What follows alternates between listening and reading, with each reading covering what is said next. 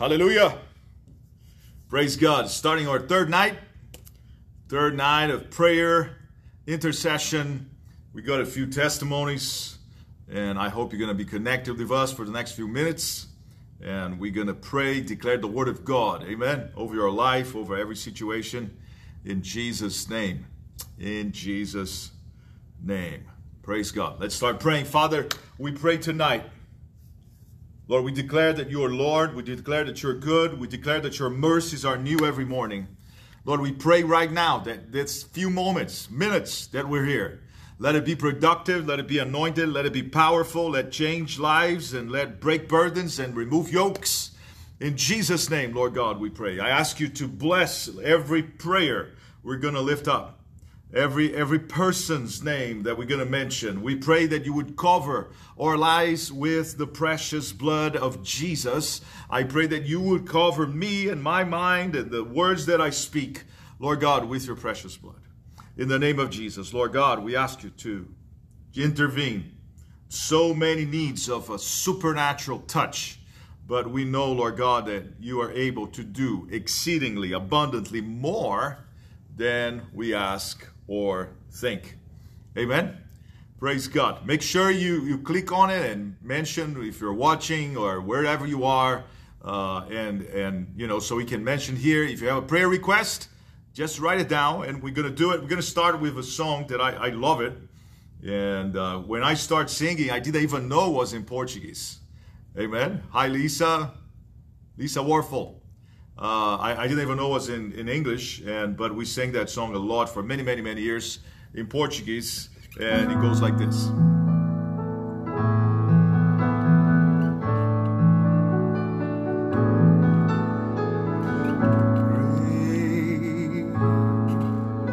is the Lord and most worthy of praise. The city of our God, the holy place. The joy of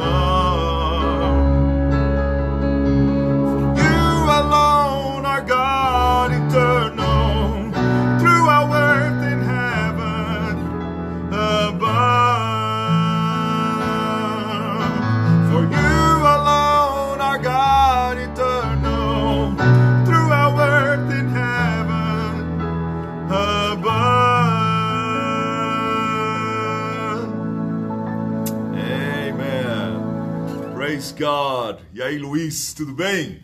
Praise God. Let me see who's here. Luiz. E aí, Gilberto, beleza? Wanda. Amen. Praise God. Ruth, Lisa, Sonia. Amen. Praise God. Uh, quick update again. We have uh, Laney update. Laney's continuing to do well. Praise God. We see, isn't that great that we see the community coming together and everybody just declaring the word of God? I'm telling you, what would happen if we all do this for the nation? If we all do this for our neighborhood, for our city, whatever we are planted?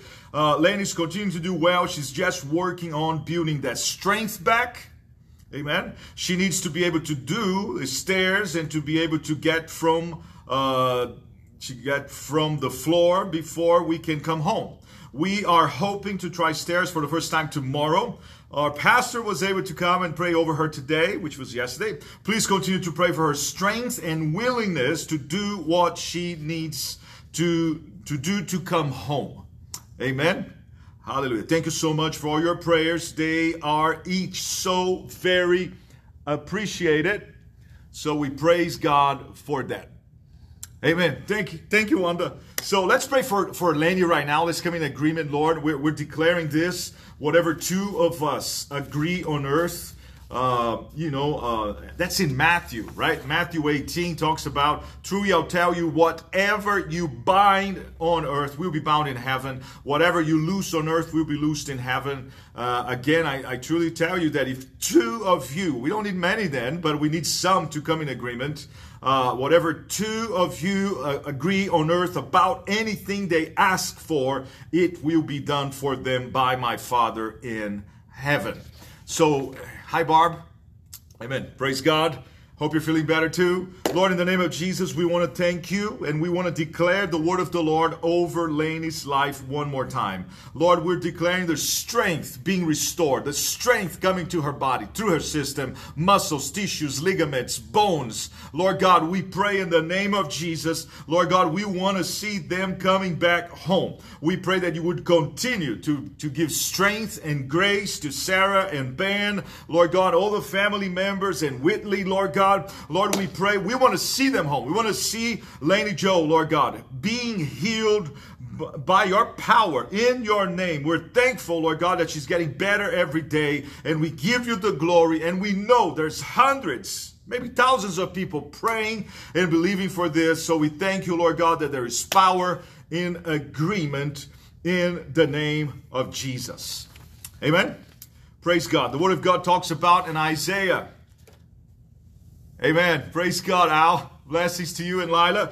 It says that no weapon formed against us, no weapon formed against you. It's not saying there won't be any weapon. There won't be any kind of attack. There won't be. The enemy's not going to attack. It says that the weapon is not going to work. No weapon. Hey, Sheila. Amen. You're welcome. Praise God. Juliana, Jesus. Blessings. No weapon formed against you shall be able to prosper.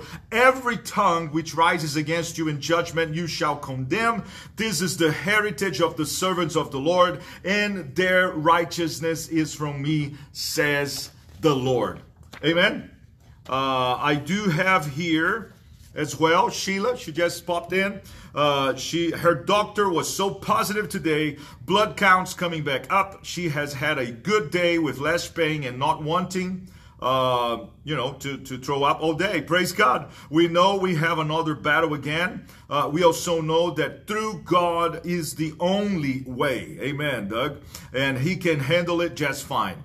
Pill number five today, and she's holding them down. Three times the chemo, one of the last one. Her best day of the week. Still tired and weak, but feeling better. There is no doubt that God is helping her take this medicine. We'll see her every two weeks. Blood count starting to come back up. Your prayers last night were amazing. We're so thankful. We continue to pray for everyone mentioned that they will have good results as well. Can you say amen to that? Father, we want to lift up Sheila. We want to pray for blood counts. We want to pray for the medicine. We thank you, Lord, that it's working, it's getting better. And Lord, we're, we're not believing only to get better. We're believing for a break through. Just like we declared yesterday, we're believing, Lord God, for this burden to be removed, this yoke to be destroyed. We're believing for their faith to rise up. We're blessing right now Sheila and Doug. Lord God, we ask you to break the power of the sickness over her life, and we speak an abundant life over her in the precious name of Jesus. Amen. Praise God. Another quick update. Tristan Duncan. Uh, he had a good day yesterday. I don't know if you've checked that out. He had a good day yesterday. They removed the catheter, the IVs. He finally ate something. Although it was just jello and peaches, it's something. All medication are being given orally. He went for a short walk with the physical therapist. When the physical therapist was trying to wake him up, and she said she asked uh, tristan do you want to get some exercise? And while he spoke with a soft and groggy voice his immediate answer was let's go. Let's go. Isn't that cool? What else would we expect from this kid? He knows where he is now but is still in a lot of pain in his neck and head. So that's what we're going to pray right now. Lord we bless tristan duncan. We rebuke that pain we declare that by our stripes he's healed. We pray for his head. We rebuke uh, that you would remove pain and neck pain. That Lord, we speak life in the precious name of Jesus. We bless him right now and his family and everyone that's connecting and, you know just praying and interceding for him. Uh, pastor please pray for a young man zach. I believe he is uh, 9 or 11 he has a clot in one of his arteries and was taken to st louis early today. So father we pray for zach right now. We rebuke that blood clot. We pray for the arteries to be unblocked. We pray for healing to flow. We, Lord, manifest your power. Lord, take care of him and his family in Jesus' precious name. Amen. Praise God. Um, Shirley Corbin. We want to lift her up right now. Shirley Corbin. Come in agreement with me. Amen. Let's come in agreement that God is doing something. Let's come in agreement that God is visiting her. Uh, yesterday night didn't look so good. Then at six morning, this six o'clock this morning, today, uh, the, the, one of her daughters just texted me saying, you know, that she improved a lot through the night, and uh, but the doctors want to remove the the, the ventilator. So uh, we, we're praying. We're standing, uh, you know, on the gap for them and declaring the word of God over Tanya and Lynn and Jim and Shirley. Uh, Lord, in the name of Jesus. We know there's no distance, there's no timing, Lord God. There's no there's no barrier in the spirit, and that's why we can come through here and declare the word of the Lord. So we bless Shirley, we bless her whole family. We pray for their faith their faith to be strengthened at this hour, that they would stand upon the word of God. We pray, Lord God, that you would bring her out of this situation stronger, healthier in the name of Jesus. We pray for the medication that they're using, that you would give the doctors wisdom in the name of Jesus. Amen. Can you say amen to that? And and let's let's do that. Jimmy Rogers and Joyce, talk to them a little bit today. Uh, you know, and again, that's the thing. You, know, with the COVID, I, I remember personally, there was there was two or three days. It was not only the aches and pains and the shortness of breath. It was like foggy. It was almost like confusion. You you couldn't think right, and you couldn't. You know, it's like very. Ugh, that's the feeling that I had it, and it, it was definitely bad. You, you know, didn't almost didn't have any didn't have any fever. You know, body aches and kidneys and some other things, but the coughing and the shortness of breath was bad, you know. So we want to pray for all those people that they're, they're going through this. I said yesterday the two types of soil the one that is the, the, the house founded in the rock, and the other one upon sand both of them the wind the waves the flood the beating uh, but the one who is on the rock that's the one that's going to stand after the storm is over. So uh, we, we just want to encourage them. Uh, i talked to dave hauk the same thing. Today he tested positive. He, he's not having hardly any of the symptoms we praise god for that uh, Joshua didn't test positive, uh, but in three, four days, we got some symptoms going. We want to pray for them as well and bless them. Uh, so we want to pray Jimmy Rogers, Joyce Rogers, Mary, David, Joshua, uh, uh, Joe Mumo. I want to pray for him tonight that God would visit him uh, with his mighty touch. Amen. In Jesus' name. And if you know someone here that is dealing with COVID, you know, we want to lift them up. We want to pray for them. We want them to be encouraged.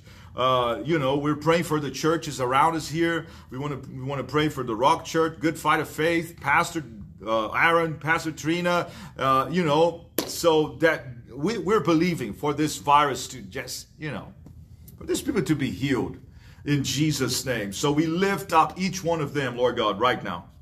We pray for them. We pray for Shirley. We pray, Lord God, for Jimmy Rogers. We pray for Joyce. We pray for Mary. Lord, we pray for David and Joshua and John Mumo. Lord God, we pray in the name of Jesus. We rebuke this virus. Lord, not in our name.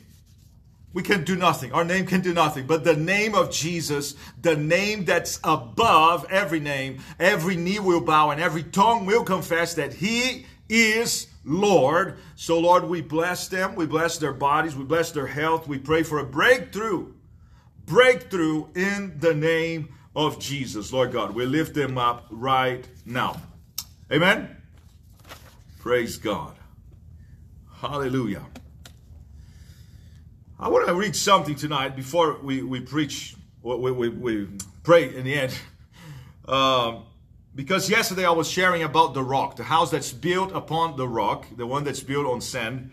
Uh, and we know, and that's the important thing as we navigate through the season, as we navigate through the things that's going on. Uh, Matthew 16 says, When Jesus came into the region of Caesarea Philippi, he asked his disciples, saying, Pay attention, two questions, one to the disciples and one to the people on the outside. Who do men say that I, the Son of Man, am. You know, and I always like to see this as like he asks and he gives the answer. Who do men say that I am? Who, you know, so who do men say that I, the Son of Man, am? So they said, you know, some say John the Baptist, some Elijah, some others Jeremiah, or one of the prophets. So two kinds of opinion. But then he turns around to the disciples and said, but who do you say that I am? Very important. Two different kinds of opinion. There's opinion in the world. There's opinion in the world where, you know, God doesn't belong. It's not for God. We're taking too serious this thing and we don't want him here. We don't want laws that you know come from the word of god. I mean there's a lot going on in the world general not only in the us you know but there is a constant attack that like we don't need god. We want to be you know on our own. We, forget it. But we see here that jesus asked the disciples what they say? So that was not the final. Whatever they say is not final. Whatever they say it's not really as important as whatever what you say. What is your revelation? Who do you say that Jesus is? Who do you say that he is? So he asked both, uh, uh you know, both of them. Simon Peter, he had to be Simon, you know, and we know Peter, little rock, and Simon, it was related to listen, listening. Peter, his name means listen. Simon Peter answered and said, You are the Christ, the Son of the living God the Messiah, the anointed one. Jesus answered and said to him, Blessed are you, Simon Barjona. And then he says, Blessed are you, Simon Barjona, for flesh and blood has not revealed this to you, but my Father who is in heaven. So he was blessed because of the revelation that he had of who Jesus was. He is blessed, and my encouragement tonight, very short, but we, we, we are blessed when we understand who Jesus is. You are the Christ, Son of the living God. Then Jesus goes on and say, and also I say to you, to you that have this revelation, to you, church, to you, disciples, not to them, to you, I say to you that you are Peter. So his identity, what God had for him, was revealed on the base of what he saw that Jesus was. So you're never going to fully understand who you are until you see, until you have a revelation of who He is. Oh, that's good. Amen. Because in the midst of all this chaos and confusion, it's like the enemy wants us to lose identity. Who you are, who are you? You know, I mean, if COVID really brings that, or it's just the effects in our brain for a few days, that confusion, that fogginess, you don't even know who you are.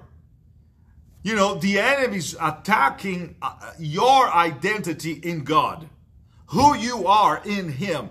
You are bought with His blood. You're sanctified. You're the child of the Most High God.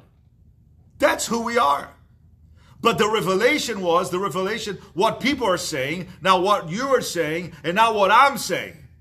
So they said what they said, and then they Peter said what he heard from the Father, and now Jesus reaffirms Peter, and he says, "And you are Peter. You're like a rock, a little rock. You are Peter, and on this rock I will build my church." Who are his church? We are. The church is built. Remember yesterday I was talking about the two types of building. One was built upon the rock, the other was built on sand. So it's like, I will build my church.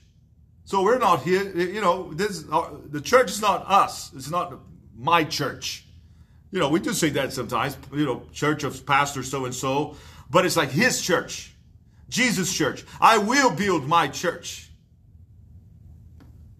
And the gates of hell or Hades shall not prevail against it. And the gates of Hades shall not prevail against it. And watch this. And I will give you the keys of the kingdom. I always say that a key in comparison to a door is very small. But a key would open something gigantic. And I will give you the keys of the kingdom of heaven, and whatever you bind on earth will be bound in heaven. All right, that talk about a powerful key that is connecting heaven and earth when we understand who Jesus is. So when we pray, when we rebuke darkness, when we speak healing, when we go after those things, when we're declaring the word of the Lord over all these people, it's like we want to connect thy kingdom come on earth as it is in heaven. No COVID in heaven. No destruction. No fear. No trauma. No, you know, we're connecting. So I gives you, when you have that revelation, Peter, I am the Christ. You are the Christ, the Son of the living God. And upon this rock, on, uh, the, upon this revelation, I will build.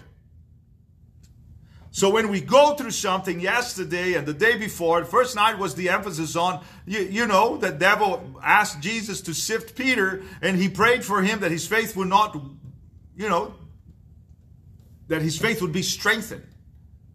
And when you repent, come back and strengthen your brothers. So that strength comes by realizing God's grace, how He's merciful, but realizing, you know, Peter, you messed up, but you're going to come back. I know you're coming back, but when you come back, have compassion on those that fall away those who deny me, those who have a, their, their faith is weakened. So right now, that's why I'm encouraging you. We need to encourage one another, pray for one another, you know, and, and if you know someone sick, call them, send them a message, send them a scripture, send them a song or something that they would take their minds off of what they're going through and put their minds in the Word of God and renew their mind with the Word of God and do not conform to the pattern of this world and not just like accept this is it, I'm going to die. We're all going to die. I just don't want to die before my time. That's it. I refuse. And that's how we do it. And you fight until you can fight no more. And we pray and we ask and we knock and we seek and we're going to find and it shall be open and we will receive. But we have to uh, knock and keep on knocking. Ask and keep on asking. So it's not a one time thing. It's like a constant. We're going to be, uh, you know, the same way that the enemy comes to kill, steal, destroy. We have to declare the word of God that he came to give us life and more abundant life. So that revelation is the key. You know, we're going to build something. We're all going to build something. But where are we going to build and what we're going to do with that building that we're building for, you know, for him, supposedly. Amen. So this is it. Before we pray again, let me see if I got another song here.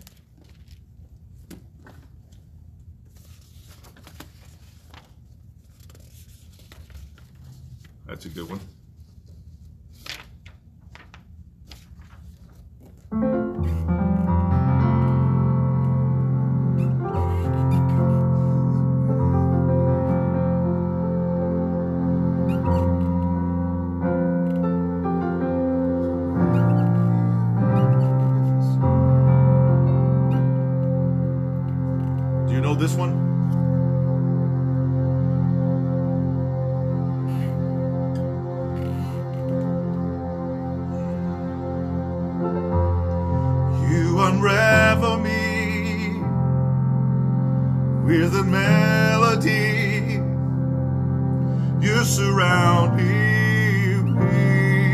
A song of deliverance from my enemies till all my fears are gone.